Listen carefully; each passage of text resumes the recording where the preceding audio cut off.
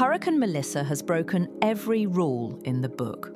When it hit Jamaica this week, winds blasted at 185 miles per hour, one of the strongest landfalls ever recorded in the Atlantic.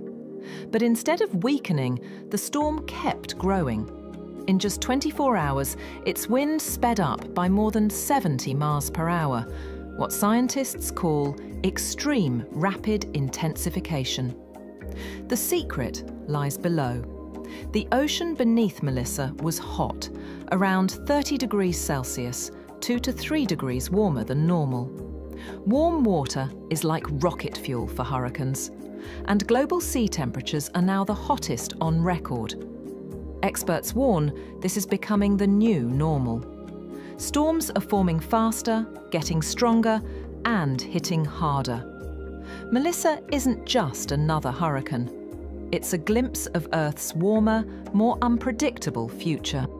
Follow for more science updates.